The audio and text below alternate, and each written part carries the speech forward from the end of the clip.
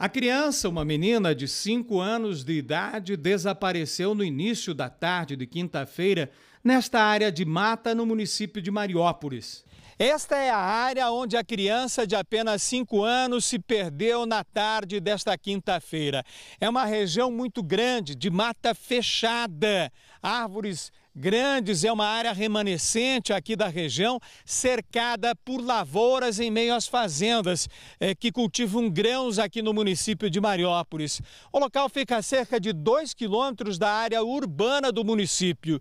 Os bombeiros, a polícia militar, auxiliada pelas unidades com resgate é, por cães e também por populares, amigos e vizinhos, fizeram um enorme mutirão de buscas dentro da mata e conseguiram encontrar a criança por volta das 11 horas da noite de quinta-feira. Foi um alívio para todo mundo. Olha só, a mata é bem fechada e realmente, até para um adulto, é fácil de se perder aqui. As buscas contaram com a ajuda de voluntários e equipes da Polícia Militar e Corpo de Bombeiros, inclusive das unidades de operações com cães de Pato Branco.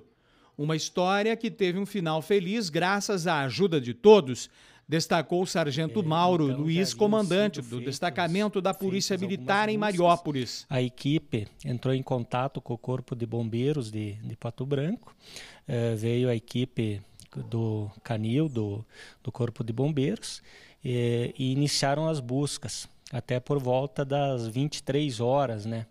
É, então foram feitas buscas é, com, com a equipe da Polícia Militar e Corpo de Bombeiros, juntamente com a população, né? É, então, que, que auxiliaram nessas buscas.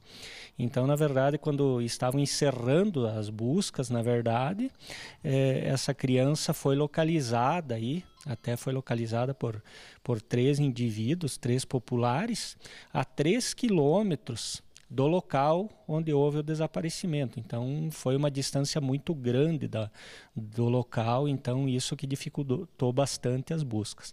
Mas enfim, foi localizada com êxito, sem, eh, sem nenhuma lesão a criança, né? Então eh, deu tudo certo no final.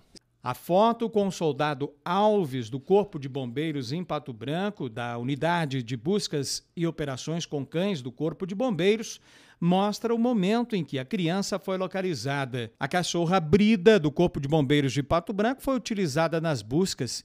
Ela já teve uma série de êxito em operações de busca e salvamento.